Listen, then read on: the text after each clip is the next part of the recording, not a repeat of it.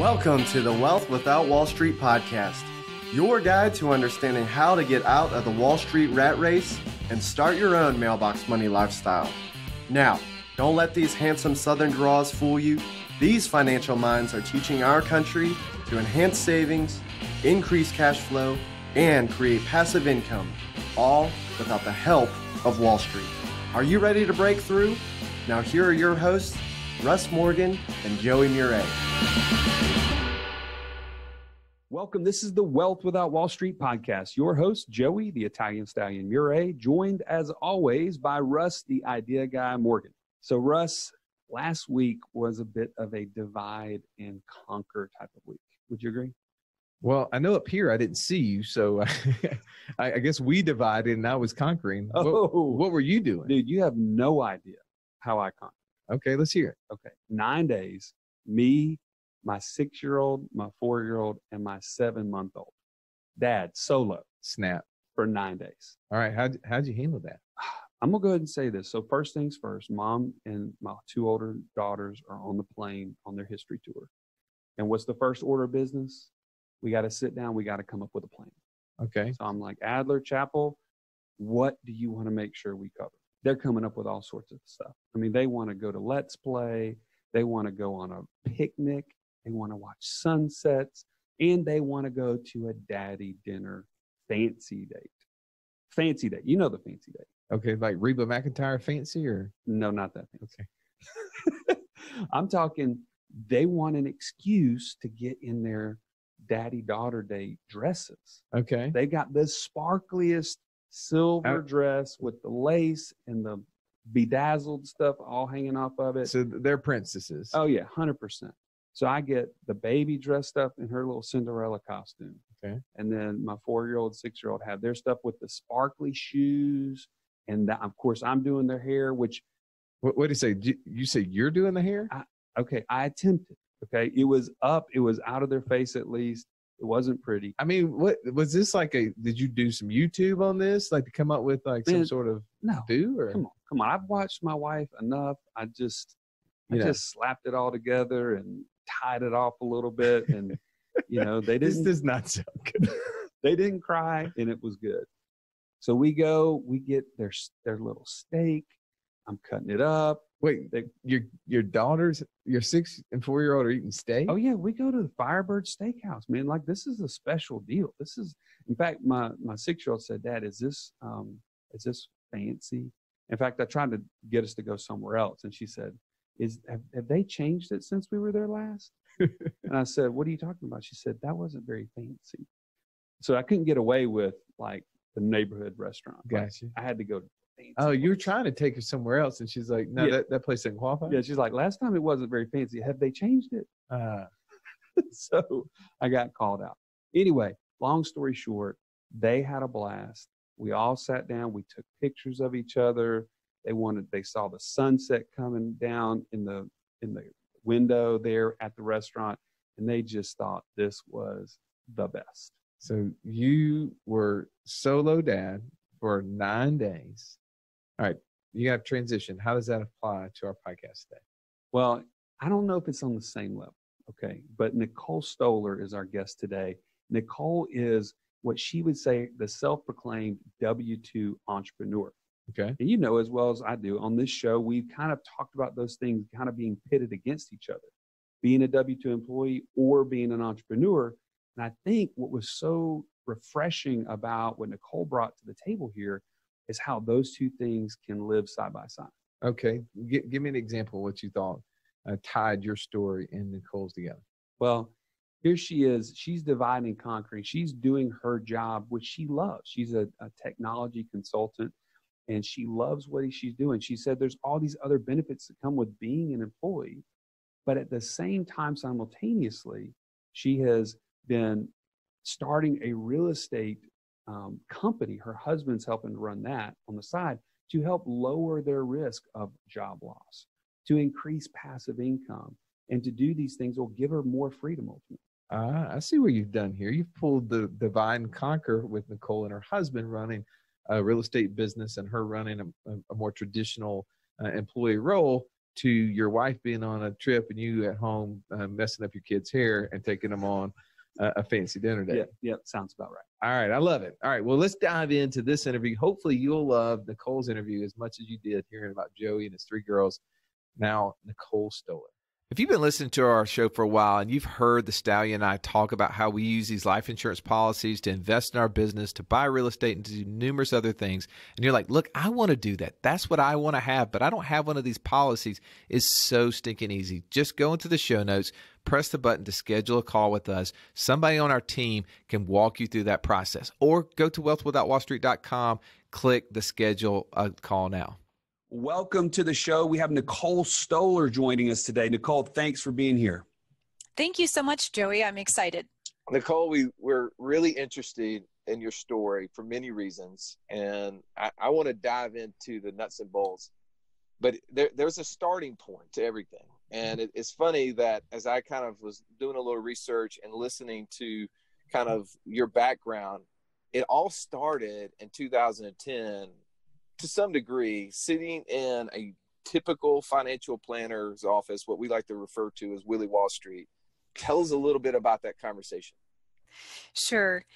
Uh, basically, if you think about the financial planning industry and you're you're driving toward retirement, you're driving toward what's going to happen at 65 and my financial planner was basically looking at the different scenarios. And you can do this online too right? You you calculate how much you have today. You calculate how much you're adding a year. And financial planner says, okay, you know, if the market performs really well, we might be looking at 7% per year in growth. Or if it performs terribly and we have bumps along the way, it might be 3%. Right? There's these variables. And then the end of the variables would also be, well, then how much can you withdraw at 65 or whatever age it is? And for me, the delta was between, and I'll just say the numbers, it was between, hey, you're doing pretty well, assuming all these factors, assuming the market performs, you, you need about 3 million. Assuming things are terrible and we take the most conservative approach, you need 5 million. And to get to 5 million, you need to put X amount more in per year. And it was kind of eye opening to me that that was a huge gap a big delta, a, an uh, impact on my lifestyle, right? To put incrementally more in per year, and just a lack of control over those variables and how much extra money I might need to be able to retire at you know 65 plus. So Nichole, you're sitting there and he drops that big five million dollar number in your lap. Like what's going through your mind at that point? well it, it's a huge number right and and you're thinking to yourself what i have no control over this this is the biggest thing that that really hit me is i have zero control over this and the flip side of it is you don't want to live this life where you're you're scrimping to mm. get to X amount per year, then you get there and then maybe you didn't need all that, right? You gave up trips with friends, you didn't go out to dinners, you know. So there's this balance, and I just felt like uh, it was kind of ridiculous the, the, the delta. I mean, it's the gap. By, by the way, did he did the advisor tell you how long you would live? yes. Because then, then it would be easy. Then you could really plan ahead and just know exactly how long it needs to last. I mean, that'd be helpful to know, right? Such a great point.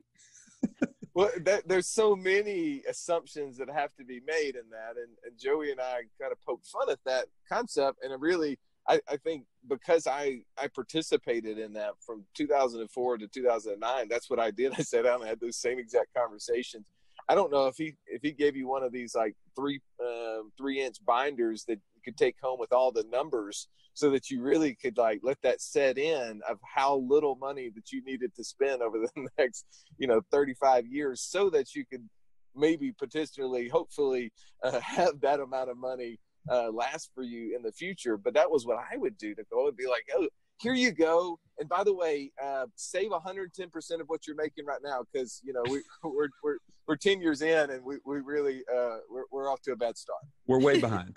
yeah. So Nichole, it doesn't sound like you walked out of there really excited about uh, this information. Was there something at that point that kind of motivated you to do something different? Yes. So we eh, so way back in 1999, my husband and I had read Rich Dad Poor Dad, and we invested in real estate. And then my husband got into property management. So there was a, a, a lot of pieces there, but and we had some small real estate investments, but we weren't. That was not a huge focus for us for a number of years in between those time frames. And really, what we did after that call and that meeting was accelerate our real estate investments because we felt like okay you know what? We know how to do this. We know how to prudently run real estate investing as a business. Let's ramp this up because that is something that we can control. And we just put a lot more focus into that than we had for for about a 5 year period. So so you immediately just quit your job and focused on real estate right no. well, okay, so just being clear, just being clear. Yes, yes. So a couple things. I love my job. There is, and I know you know people maybe don't love their job or do. But if you love your job, it's okay. I I think you're you're in a great position where you've got W two income. It's it gives you and health benefits right? And and access to you know some resources that you wouldn't get as an entrepreneur. And yet then i partnered essentially with my husband who he quit his full-time job and ran our real estate business. So that's that's the way we approach it. Uh, so speak a little bit to that because there's listeners right now that are kind of in that in, in that position where they love their job and they've got great income but they they don't love the idea of being out of control investing. So we have this kind of what we call the hierarchy of wealth. And at the very top of it is speculation. That's the thing with no control no influence no collateral right? Uh, no no uh, hope to get the money back. You know it's a great money machine for willie wall street but not great for us. And so people are saying i don't want to be putting my money into that world but i don't know how to get into something else. So explain like for that person like how you having a, a consistent, you know, and, and uh, when you say W two, some people know what that means, but other basically you are working for a corporation of some sort. Um, how was having that income beneficial to you? Well, the first level is, and and there's a lot of different ways that if we're talking about real estate specifically, there's obviously a lot of different ways you can invest. In some ways, you are not qualifying for a mortgage. In other ways, you are and you would be. And when you have a W 2 income that with verified pay stubs, with you know multiple years of um, your your W 4, with all of those things, you basically are, it is easier to get mortgage loans that you can then use to build leverage into real estate investments. So having that is a huge benefit. I, I, I think health benefits are a huge piece as well uh, uh, for being employed and then not having to worry about those are uh, some pretty high costs if you're going out and getting health benefits on your own. So, so I, am going to go ahead and throw this um, out there to you, Nichole. You've actually coined this term, so I'm not I'm gonna I'm not bringing this up myself. You called it the W two entrepreneur, and I think there's so much um, excitement around that in my mind because there are people that do like what they're doing. And, and forgive us in the past, sometimes we've poo pooed the idea of, you know, how can I get out of my job? How can I get out of my job? But that's not always the case. And you don't need to feel shame. Like if you're listening to this, you're like, man, I really like this. So, but how do I then expand beyond this? So the W 2 entrepreneur, I love that term. So, what would you say are some of the skills somebody is in that position right now that they need to be picking up, they need to be learning in order to get to this point that you're talking about? I'll speak from real estate. I obviously uh, I have a podcast myself that is focused on folks that are working full time that are doing something to generate incremental wealth. So I, I, don't think real estate is the be all end all. I mean, absolutely, there's people doing other things, owning franchises, building other types of businesses. But I personally really like real estate because there are very basic fundamentals. It's it, there's a lot of information available as how to analyze and make the right decisions around real estate.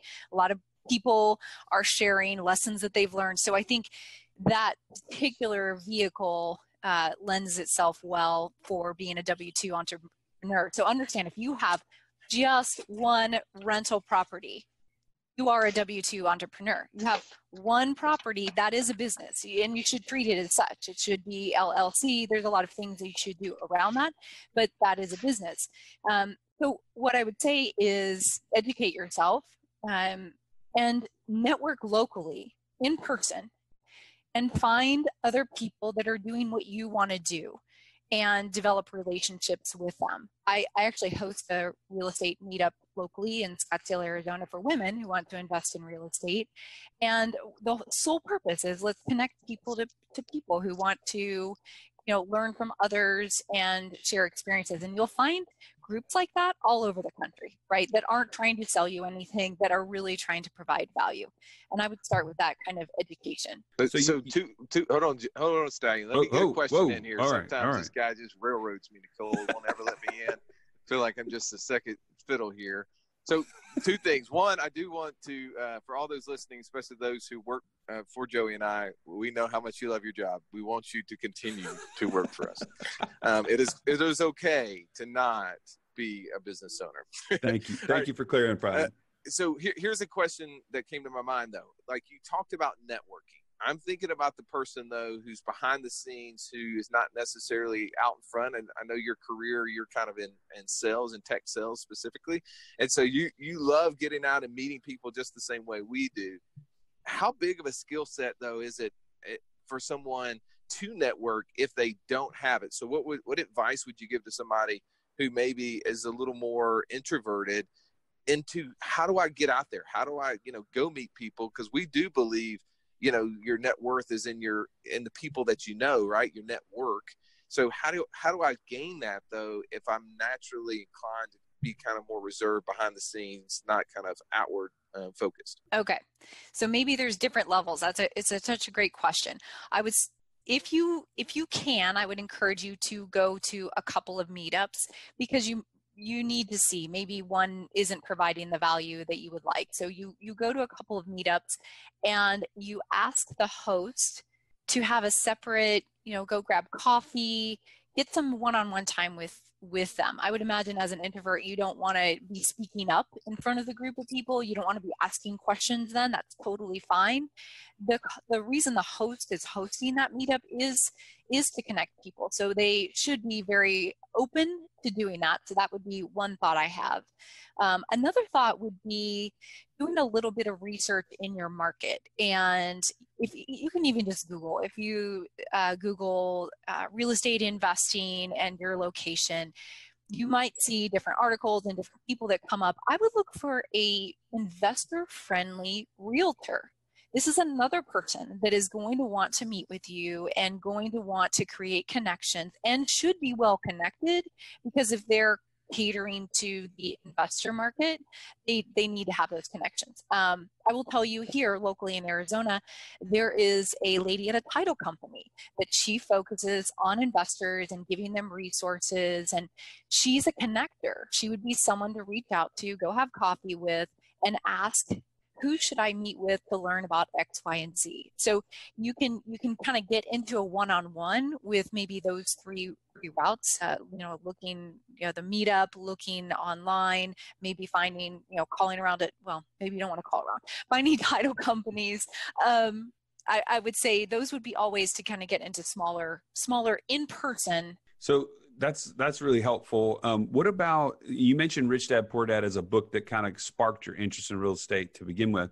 What other resources or um, you know things that you can refer or recommend to people as they're starting this kind of a W two entrepreneur journey? Specific to real estate, I would also recommend the website biggerpockets.com the i did write an article actually though about bigger pockets. I don't you you shouldn't just go there and start reading everything because the real estate industry has a lot of different niches and it is very easy to get overwhelmed by all of these different approaches. So I, I always advocate first that you should understand your overall goals and what you're trying to accomplish and then you, you need to ask some questions about you know where do you live? How much time do you have? And as you go through these questions it'll help you determine okay you know what? I don't have enough time to manage a property myself or i live in a high cost of living area. It's not going to be feasible to buy a house you know in in my location. So i need to find someone in another area or I need to research other states. So there's a, a, set of questions that I would say you should probably go through first before you spend time on bigger pockets. But once you know what you're looking for, then take that targeted search and you can find questions there. Well, we keep asking questions, and I know your niche is in that real estate space, and you touched on it briefly. You had you and your husband jumped into real estate without knowing a whole lot about what you were doing which by the way, Joey and I have done the same thing in our past. Have shared uh, those, those sob stories many times on here. But there's some that are are thinking, okay, I keep hearing real estate. This is the route I should go. I know nothing about it, um, but now here's an expert. Here's somebody who, uh, with your background, you're not only in the single family space, you're in the multifamily space. You guys are focusing on uh, doing hotel syndications. I mean, you, you've kind of branched out to a much broader uh, market. But when somebody comes up to you, you're on the road and they say, Nichole, I've heard your podcast, Richer Geek. I, have heard how you and your husband Mike have built kind of a, a real estate portfolio that's pretty amazing. I've never done it though. Like, what are some of those outside of going to a couple of events, reading a couple of books? What are some other things that you would tell us to do first so that we don't make some of the same mistakes that Joey made whenever he started? Oh, so it's going to be me now. Okay. All right. All right. I I would love to hear about your mistakes. I will tell you, our mistakes were uh, a hundred percent not knowing how to manage and operationalize uh, that side of the, the business. Uh, the, the piece we were pretty good at was finding good deals. So that, that part's, you know, finding a property is one thing and there's an art to that as well. Uh, oh gosh. So to your question, and I, I do get this, I get a lot of questions from people and they also are a little overwhelmed and they don't know exactly where to start. Um, I do think just look where you are right now and what you're trying to what you're trying to do at this point in your life. So as an example you have kids going to college uh, where where are they maybe thinking of going to college? I, I met with one guy that basically ended up buying a house close to the university where his son was going to go and then he rented out the other rooms to other college students and essentially the entire mortgage was paid and then his son kind of lived quote unquote rent free so that's a great strategy where he is and his life and what's happening. I also met with someone who said i uh, we, we have a small growing family. We need to move to a bigger house. And i said well look at the house you already own. What can you do with that? It, it, will it rent and have a good cash flow uh, if you don't want to manage it yourself, would you put property management in place? Did the numbers still work? Do you want to turn it into a short-term rental? Is it in an area where a lot of people are traveling and there's tourism? You can start at a, I would say, you know, at a at a basic level, if you want to own the property yourself with a single family home.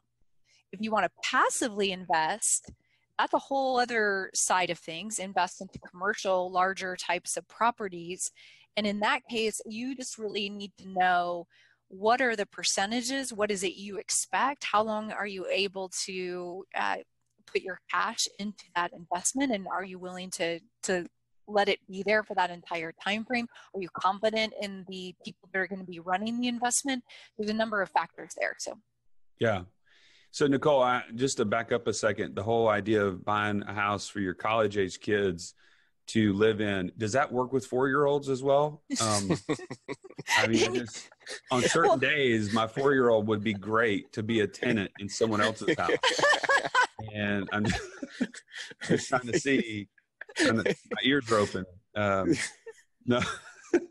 so I, I, actually have a serious question. Um, so you mentioned, I, I want to kind of play devil's advocate. So someone's listening to this, they say, man, it sounds great, Nichole. I mean, it sounds awesome. So sounds so easy to have a W 2 job and then to start investing on the side and create uh, rental real estate uh, income, whatever.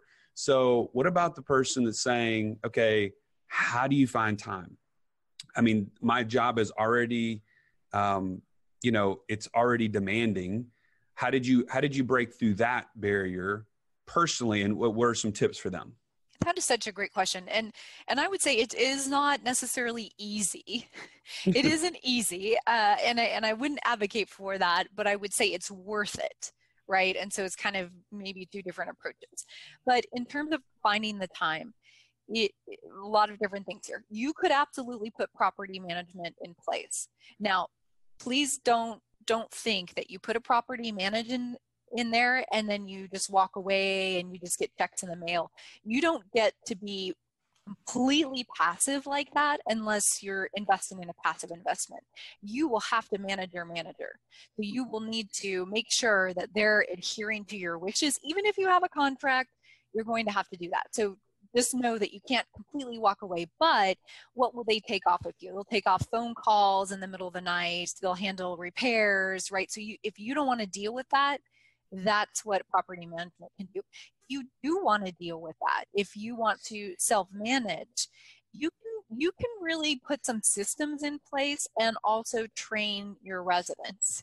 So there's different strategies around that. You can Uh, and we'll just talk like on a on a technology side some mm-hmm. systems that you can put in place. So you would basically you can use phone services where you're still carrying around your cell phone but if you're getting a text or you're calling back to your your resident your phone number is masked. So they don't they don't have your personal number but you're still able to call them right? So there's things like that.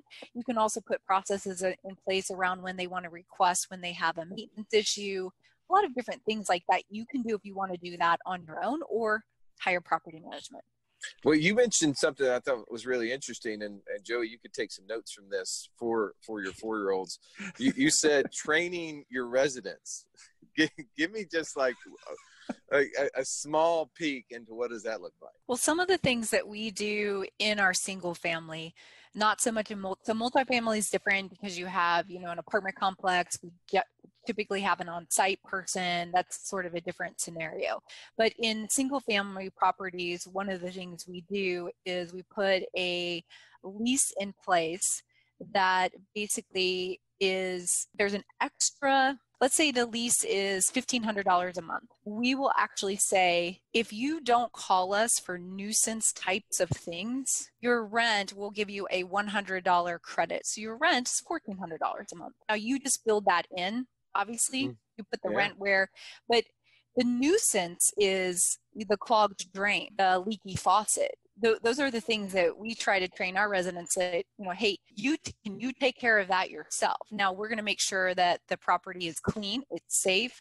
that the, all the major systems are working very well right? Obviously if you have an hvac we live in arizona you have an air conditioning problem you call us right? Absolutely. Um, but the other thing is is we you have vetted um, vetted contractors that you work with you know and trust those people these things you build up over time. But I would say that the nuisance is the piece that people struggle with, those constant, you know, calls. And some residents can be high maintenance. So it's a way to to train them. No, that's that's awesome. What great tips there, Joey. Uh, yeah, that's apply that.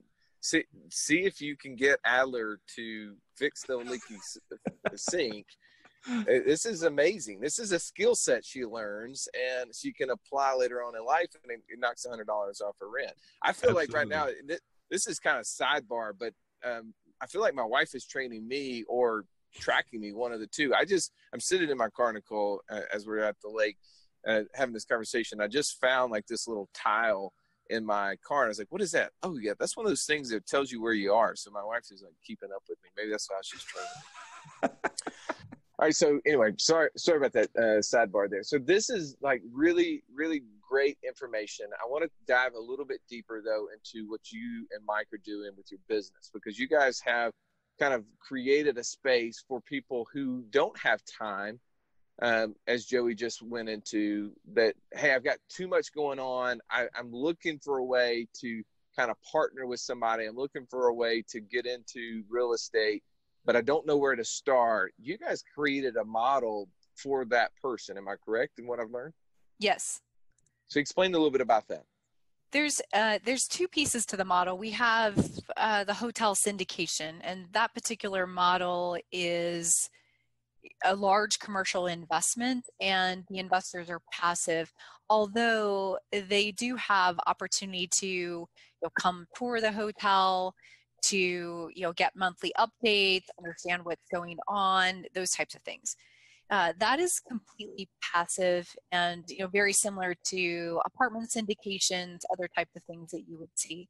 Uh, the other model is around the single family homes, and that's where someone actually wants to own the property. So the, so the difference is in the hotel, uh, my husband and I we go out and secure the loan. It is it is with it with our company, and the investor is putting funds in and getting a return and equity on that investment, but they are not part of the loan and not participating in that way. But then, if people are wanting to 100% own the home, there that's the model that we're doing kind of around turnkey single family homes but we do that only in the phoenix metro area because that's where our systems and our processes and our network is that we can count on. Man, that's really cool. And I'm assuming all of that started out of people keep coming to you and saying, "Hey, what do you guys do, and how do you how do I do something similar?" And you said uh, there's an opportunity here for us to take our knowledge and know-how and and partner with others. Is that where it came from? Absolutely. Yeah. Well, that's so cool. Well, Nichole, it's been amazing to have you on the show. You've provided a great value if somebody wanted to connect with you um, and, and learn more about what you guys are doing, how could they do that? The best way is on my podcast website, which is the Richer, R I C H E R, geek.com. That is so cool. Well, thank and you so much. Way, hey, don't forget this, Russ. So Nichole has graciously agreed to be a part of our community, and uh, we'll be doing a live Q and A just in a few days. And so, if you are uh, wanting to ask Nichole those questions that we undoubtedly missed because uh, we are distracted by tiles in our car and four year olds, um, please join the community at community.wealthwithoutwallstreet.com. You can join today and be asking her questions tomorrow. Um, Nichole, thank you for being a part of that and um, and for being willing to do that. Thank you so much. Excited to do that. Have you been listening to our podcast and wondering, am I the only person that knows about infinite banking? Or what about the five pillars of wealth without Wall Street? How can I learn more? Now is your chance. You can join the community that is learning this across the country. Go to community.wealthwithoutwallstreet.com where you can access Q&As with all our podcast guests and live group coaching with some of the top experts from across the nation. And yes, I'm throwing in the stallion and I in that.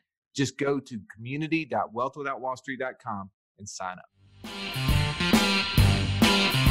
This has been the Wealth Without Wall Street podcast. Don't forget to subscribe to the show to break free of the Wall Street mindset and begin building wealth on your own terms in places you understand so that your wealth will never run dry. See you next episode.